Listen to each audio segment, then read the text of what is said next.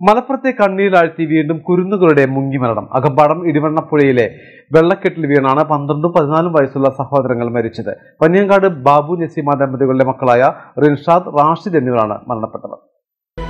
Public School, Kottakkal, nurturing world-class leaders.